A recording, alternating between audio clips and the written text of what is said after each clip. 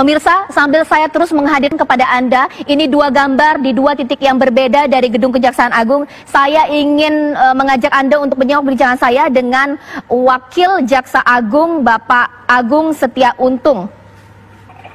Maksud saya Pak Setia Untung Ari Muladi. Pak Setia Untung, selamat malam. Selamat malam Mbak Caca. Pak Setia Untung, ini eh, luar biasa peristiwa kebakaran ini. Saya melihat gambar yang saat ini terjadi di sana begitu bergidik. Pak, ini hampir seluruh gedung dari Kejaksaan Agung. Ini bagaimana komentarnya? Nah, saya belum bisa memastikan uh, sumbernya dari lantai berapa, ya. Uh, yang jelas kita sudah meminta bantuan pemadam kebakaran.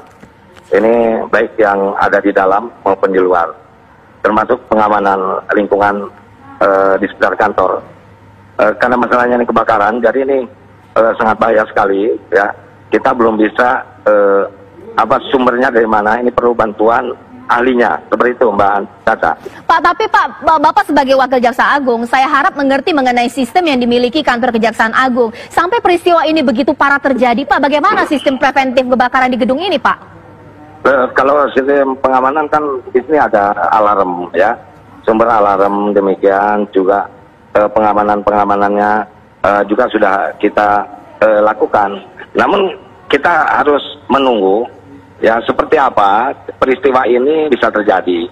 Jadi saya tidak mau mendahului ahlinya seperti hmm. itu Mbak Cata. Hmm. Oke, Bapak mendapat kabar ini tepatnya pukul berapa Pak? Saya karena rumah saya dekat ya Mbak. Jadi tadi waktu pertama muncul saya langsung lari ke kantor. Ya. Hmm. Ya saya ada berada di posisi di depan kantor Pak. Oke, okay. Mes ya. Pak, meskipun ini memang hari Sabtu malam, tapi pastinya ada petugas keamanan ya Pak ya yang berjaga di gedung Pak dengan oh, kebakaran seperti ada. ini? Ada, ada, ada uh, kamdal yang itu hari ini saya belum menanyakan berapa jumlah yang jelas ya lagi informasinya berapa orang. Baik. Pak Setia Untung bisa uh, diperbaiki lagi komunikasi karena saya begitu ingin bertanya sangat penting kepada Bapak bagaimana dengan arsip atau file-file penting kasus-kasus yang tengah disidik oleh Kejaksaan Agung? Oh ini ini ini ini bukan di tempat uh, gedung uh, penyidikan ya. Uh-huh. Jadi ini lantai atas itu di ruang kepegawaian, uh, kemudian biro umum seperti itu ya. Okay. Uh, yang jelas itu berbeda gedung. Berbeda gedung Jadi, Pak ya? Uh, kita tunggu aja perkembangan nanti uh, seperti apa ya. Kita mohon doa restu kepada seluruh warga masyarakat. Mudah-mudahan uh, kebakaran ini segera usai. Seperti itu, Mbak ya. Oke ya. Oke, berarti dipastikan bahwa kasus-kasus yang tengah disidik berkasnya tidak tersimpan di gedung sedang terbakar begitu Pak? Oh, berbeda gedung ya Mbak. Oke. Itu berbeda gedung. Uh, Bentar Mbak ya. Bentar, ya. bentar Mbak. Uh, baik ya, Pak, okay. satu pertanyaan Pak. Bagaimana okay. dengan karyawan okay. yang ada bentar, di gedung Kejaksaan Agung Pak? Bentar. Halo. Halo.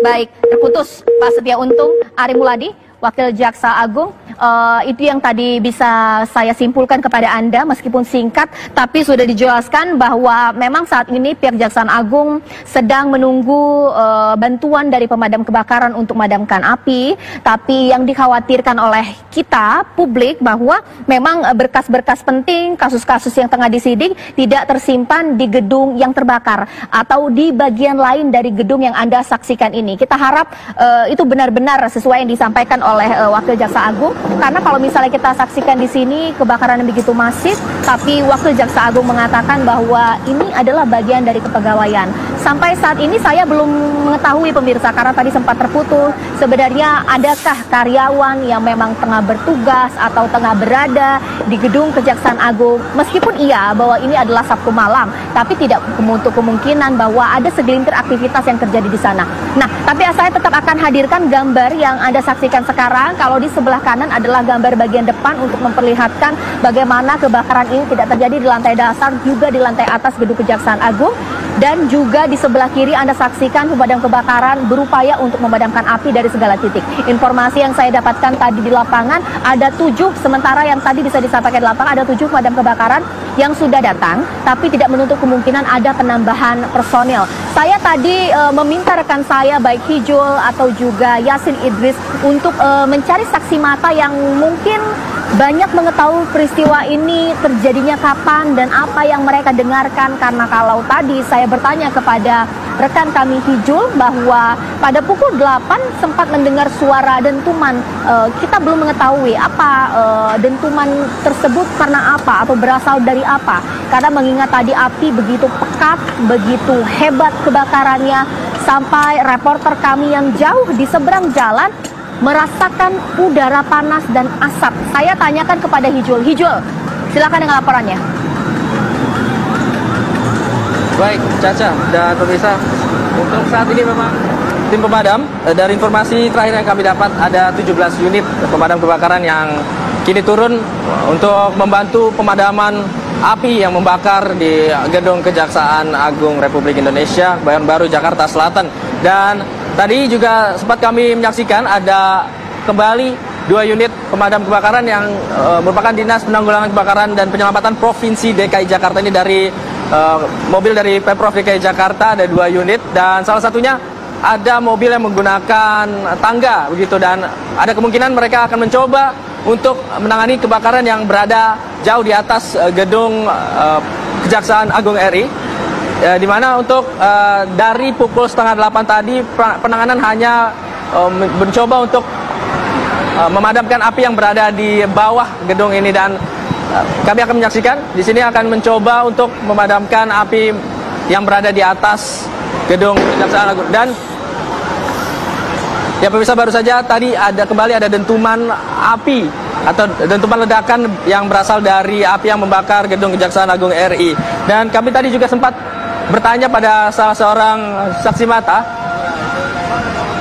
Kami coba untuk bertanya di sini ada seorang saksi mata yang memang menyaksikan awal terjadinya kebakaran tadi. Mungkin uh, Mas bisa diceritakan tadi awalnya terjadi kebakaran itu dari sudut mana dan sekitar pukul berapa, Mas? Kalau kejadian sih uh, dari ini sih dari mulai tengah ya, Mas sebenarnya. Dari tengah itu menjalar, menjalar ke semua. Dari lantai tiga mungkin ya? Uh, dari lantai berapa ya sih saya kurang tahu. Ya saya nyampe itu udah udah udah di udah hampir udah seperempat deh dari bangunan ini. Belum mencapai atas bangunan ya, baru di tengah-tengah mungkin iya. sekitar iya. lantai dua atau lantai tiga gedung itu begitu. Uh, enggak sih, udah udah udah sisa sisa dua lantai lagi di atas itu. Cuman deh api cepet ngejalar ke samping. Oh begitu ya. Mungkin eh, tadi bisa diceritakan mungkin awal terbakarnya mungkin Mas tahu awal terjadinya ini pukul berapa? Pukul kalau nggak salah sekitar setengah tujuh malam mas. Berarti e, memang terjadi sebelum jam tujuh ya mas? Iya, habis-habis maghrib lah ininya, mulai ini. Cuman uh, saya sih tadi dengar dari temen bilang juga itu apa kayak semacam korslet dia bilang. Cuman belum belum tahu pastinya sih. Belum tahu pastinya ya, ya ada kemungkinan korsleting ya. listrik. Dan untuk uh, tim pemadam kebakaran yang tadi pertama datang itu sekitar pukul berapa mas? Itu di atas jam tujuan. Oh mungkin oh sudah sekitar 30 menit kebakaran ya. berlangsung. Baru ada satu unit yang datang untuk berusaha untuk memadamkan api. Terima kasih atas keterangannya Mas. Ya tadi ada salah seorang saksi mata yang melihat awal kejadian dari kebakaran dari gedung Kejaksaan Agung RI dan saat ini masih dalam penanganan dari tim pemadam kebakaran Jakarta Selatan dan juga Pemprov DKI Jakarta. Caca. Ya, Ijul, uh, bisa Anda ceritakan sekarang gambarkan kepada kami di sini bahwa dari tadi awal Anda melaporkan hingga sekarang sebenarnya uh, nuansa atau juga masifnya kebakaran ini ada pengurangan atau mungkin semakin membesar?